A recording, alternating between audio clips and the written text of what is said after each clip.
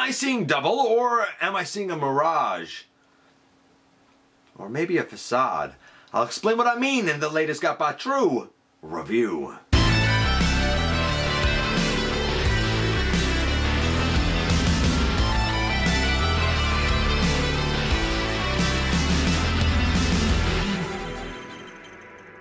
Hey one, hey all, welcome back to the channel. I'm your host, your most humble of hosts, Dennis Moulton, aka Gotbot. As always, man, please like, comment, share, of course, subscribe, and while you're at it, loud them up, baby. Hit that notification bell, please. Helps me out a ton. Let you know when content of all sorts goes here on the channel. Check out Machinery of Man, The Everything Factor. A whole bunch of groups that I'm either an admin for or a mod on. All that's linked in the description. Check out all my social media, also linked in the description. If you're in a position to help the channel to grow, you can use the donate link. Check us out on Patreon. See what we offer to you through Teespring. Or, of course, you can hit the join button right here on YouTube and become a channel member. And this is, thanks to friend of the channel, Grimlock On, this is the Netflix Wave 1 um, repaint of Mirage. It's Decepticon Mirage. Now, Wave 1 of Netflix never came to my neck of the woods first nor last, man. And you'll probably hear me say that a couple of times through here because I can't believe it was completely skipped. So, if it wasn't for someone like him and his kindness, honestly, I would not have this at all. There would be no way for me to have it. But is he good? I love the original Siege one. How does this stack up? And what do I mean when I say facade? Well, we're about to find out when we head over to the table and take a closer look at this guy. And yes, indeed, so today, thanks to friend of the channel Grimlock On, we're getting an opportunity to look at something that never did come here first nor last. It is, of course, the Netflix War for Cybertron trilogy, Wave 1 Mirage, who I am going to re-envision as someone else. Uh, cool, excellent. I'm really glad that he was able to, uh, you know, kind of send this guy along because I think he looks beautiful. We'll talk more about that. That being said, he does come with something that I'm actually not going to have any use for. We'll talk about that in a minute as well. But before we get into any of that, we're going to begin with uh, that old packaging first. Uh, again, it's your typical packaging. We have a Decepticon logo inside. Over here, here he is with the Decepticon logo. Uh, product images on the back, very a la Earthrise Siege-esque. And we have your typical artwork here on the side as well. Netflix Mirage, Blaster on the top, Siege Mirage, Blaster on the bottom. They're the exact same thing. The Netflix one is cast in a darker gray. That's it. Same with the shoulder piece, the Netflix Mirage on the top, the Siege Mirage on the bottom, the exact same thing. The Siege is done in a lighter gray and black. The Netflix is just done in a darker gray and it's all done in that gray. And neato, simple, clear instructions. I wish they were always as clear and simple as this, honestly. We got a piece of, I think it's Teletran 1. Uh, look, it's cool. It would be lovely to have all of these and actually do the, the set for it, but there's no way it's impossible for me to get all of these because the waves and stuff just haven't come here. Like it's not it's not even possible. Plus, I'm not buying everything from the uh, trilogy. I, I, just I don't need it. It's as simple as that.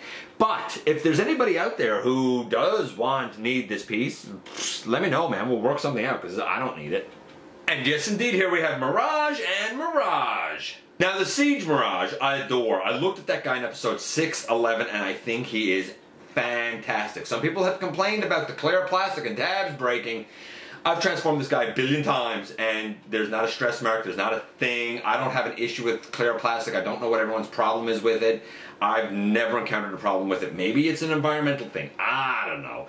I also compared that Mirage to the Combiner Wars and the Classics in episode uh, 617 when I really focused on the classics. But long story short, I love this Mirage. I think it's fantastic. Now, the new one, again, it too you would think is going to be fantastic. We shall see. I'll say this. The new one has significantly more paint. That's why I'm okay with like the shoulder piece not having the paint because it's slathered all over the body of this guy. Shout out, by the way, to Sean Hawkins. The guy is the voice of Mirage in the War for Cybertron trilogy, and I've talked to him a few times now, and you know what? The guy is super enthusiastic and a super nice dude. I digress.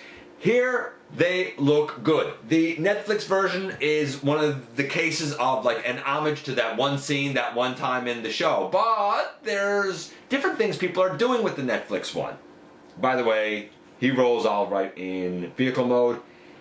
He too rolls all right in vehicle mode. What some people are opting to do is either get like a, a, shattered glass Autobot logo and put on his chest and make this guy Shattered Glass Mirage. Totally see it. You could put him with your Shattered Glass, Earthrise Optimus, and Ratchet.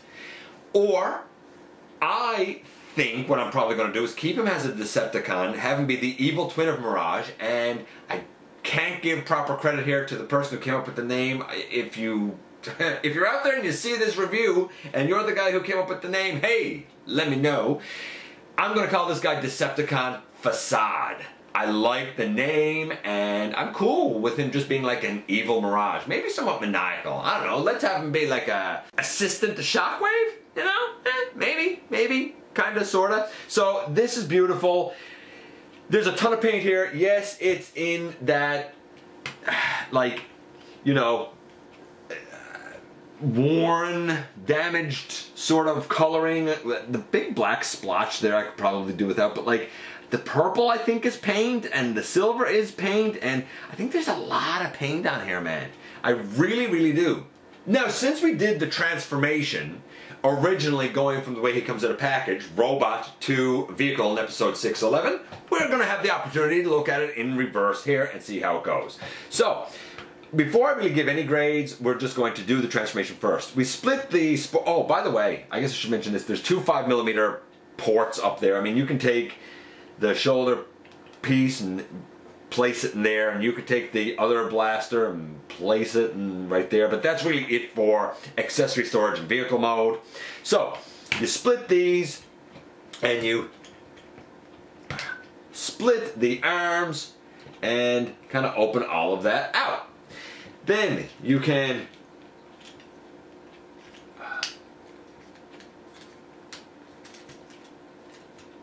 there.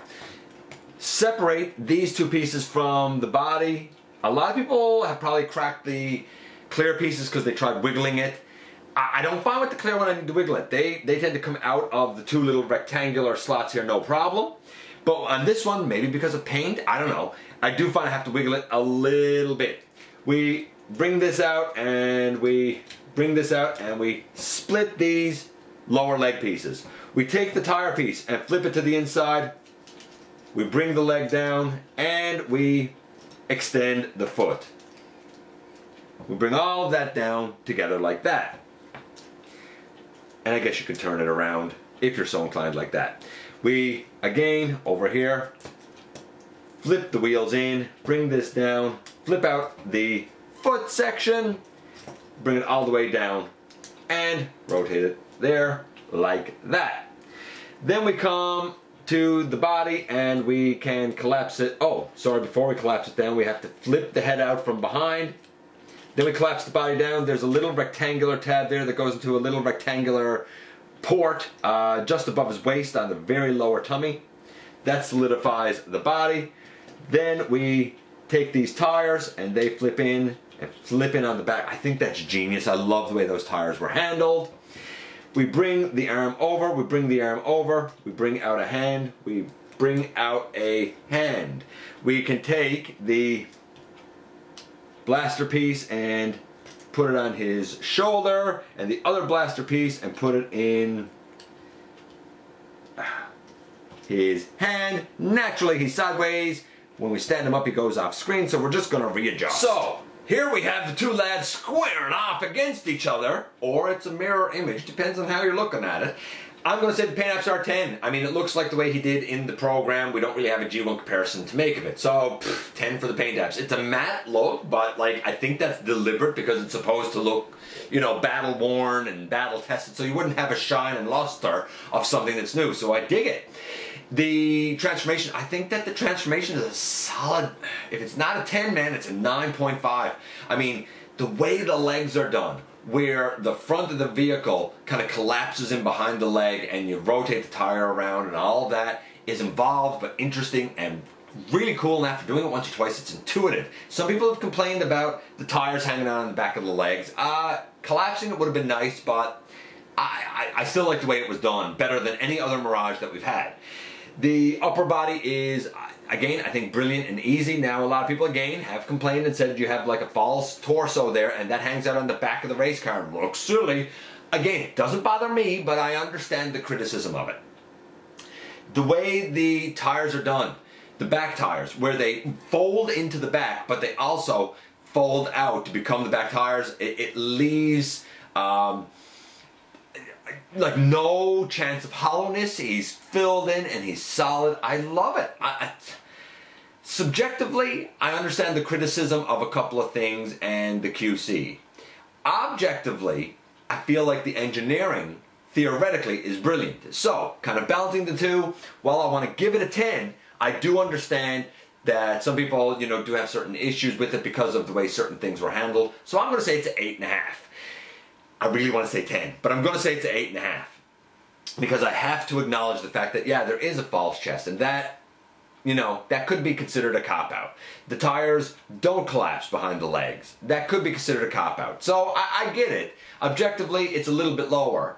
You know, I'm going to say 9. I, I, 8.5 is just too harsh for such a good transformation.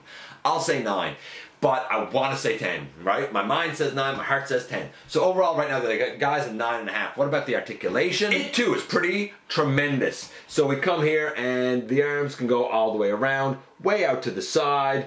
Even this piece can move all the way out if you want it out straight. We have an elbow to 90 degrees for sure. We have a bicep swivel. The, there's no wrist rotation, unfortunately. We do have a waist uh, we do have legs all the way back, legs all the way forward. They can go, you know, do, get that out, do splits all the way out to the side, no problem.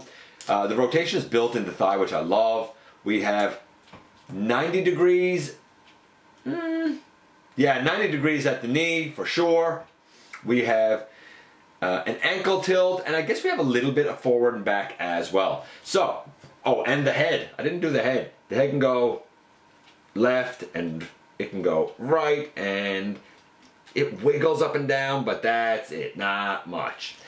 Uh, it'd be nice if the head could move up and down. It would be nice if the wrist had a rotation. Outside of that, there's nothing I could fault on this for articulation. I'm going to say it too is a solid 9.5. Overall, this guy isn't perfect, but he's the next thing to it, scoring an overall mark of 9.5. And here we are once again, and here they are. Look, first things first, I think the Mirage is fantastic. I have heard rumors, speculation, nothing confirmed, but speculation that we may get a two-pack in Kingdom uh, with a a reuse, a remold of this to be in Earth mode. I'm not sure what you would remold on it, but I don't think it's for me. This is pretty much an ideal Mirage for me. Uh, some people don't like the clear plastic, and I get it. They would probably just make that not clear plastic, but like if you really don't like it, paint it. I don't know.